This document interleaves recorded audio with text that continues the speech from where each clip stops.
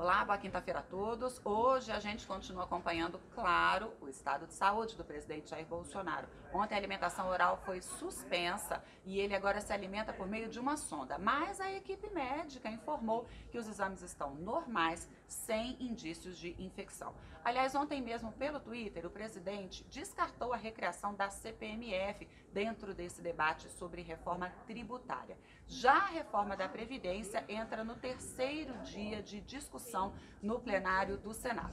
Votação mesmo do primeiro turno no dia 24. Hoje a gente acompanha também o lançamento da campanha de combate ao mosquito Aedes aegypti.